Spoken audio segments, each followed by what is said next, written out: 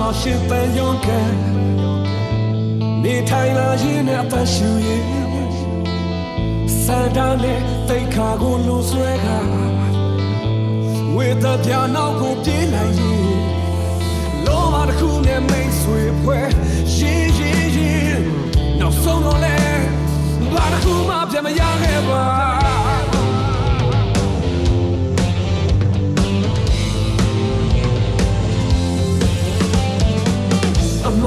ရဲ့နောက်မှာပွင့်လန်းနေ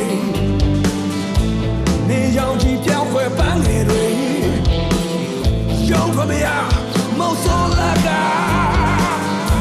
စူတောင်းများမှာခဲ့လေသလားလူသားချင်းချင်းတေကိုချင်းမစားမရှက်တဘူးလား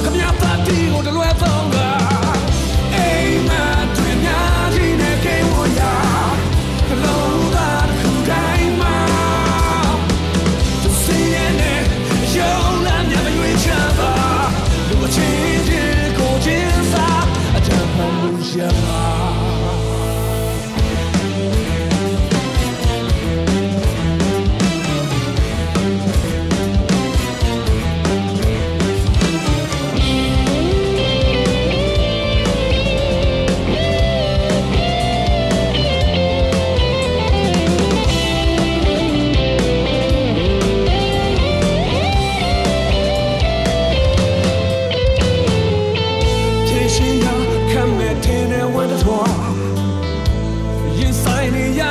တဲ့